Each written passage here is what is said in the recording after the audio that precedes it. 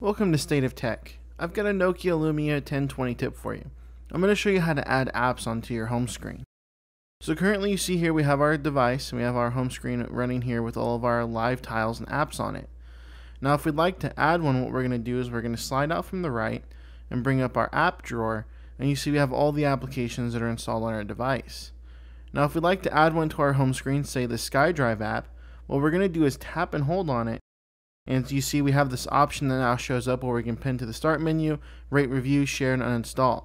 So now if we pin to start, we'll go ahead and tap that, it's going to bring it out here to our home screen. Now it adds it to the bottom by default, but say we wanted this one to come to the top. We're going to tap and hold on our screen, and we're going to drag the icon all the way up to the top.